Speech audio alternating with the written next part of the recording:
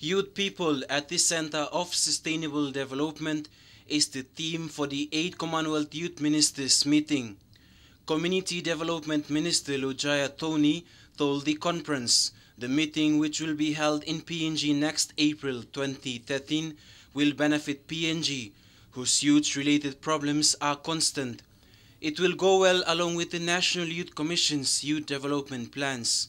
Minister Toni says the meeting will bring together ministers, senior government officials, youth representatives and youth development stakeholders from across the Commonwealth nations. As the Minister for Religion, Youth and Community Development at this time to have partners and stakeholders. Uh, we have eminent persons from around the Commonwealth who also are very hands-on and, in, and involved in, in this initiative. Strengthening development and addressing issues of youths will be the top agenda discussed in the meeting that will be documented for implementation by the Youth Secretariat. Minister Toni added events and outputs of the meeting will be communicated through traditional and new media forms like websites.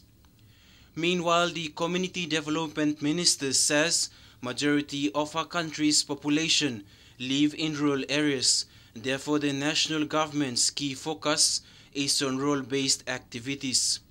She added the government has the trust and confidence strengthening the youth through empowerment programs in order for them to participate meaningfully to our country's development. Fabian Akalitz, National EMTV News.